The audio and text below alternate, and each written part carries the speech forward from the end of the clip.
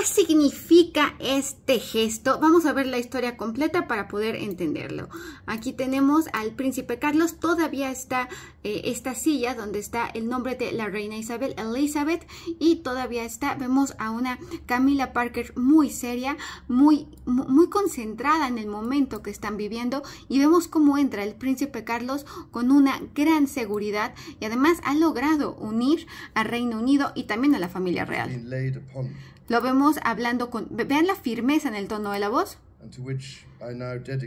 Vean la seguridad y además dice que se queda de por vida, por lo tanto no parece estar dispuesto a dejarle su lugar a William. Pero lo que llamó la atención fue este gesto que hace cuando eh, se supone que aquí no debería haber absolutamente nada en el le estorban el tintero y unos bolígrafos, firma y hace esta expresión que es quítamelo, porque aparentemente el protocolo, vean qué firma tan grande, se siente seguro, pero no, no es un rostro de enojo es un rostro, pues, apúrate, deprisa, de, de, además, hasta de cómo puede ser posible, ¿no?